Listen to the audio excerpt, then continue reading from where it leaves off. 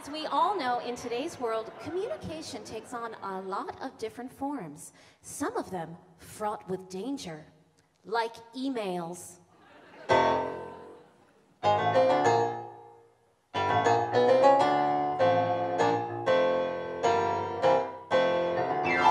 good friend was emailing a client who's insane.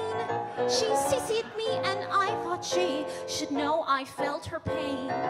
I used a few rude words to say that client had some gall. Then I noticed much too late I'd hit reply to all.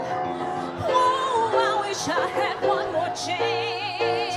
Look at the address field. I just begged IT to say I got hacked. No, I was quick to let that email go. Feeling efficient. But now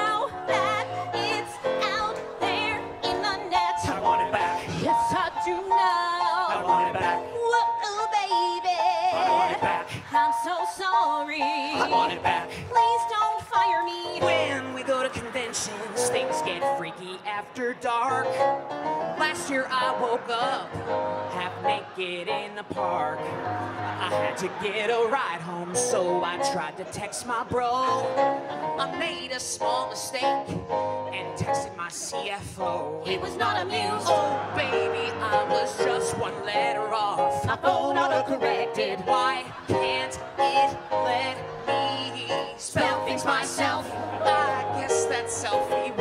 Was a bad idea. Putting it mildly. Now it's never gone away. God, I want it back. All back. I want, I want it back. all I need I want it back. is a chance I want it back. to delete. Oh, just one more chance. Why can't I undo that? Won't you please let me Purge the whole web.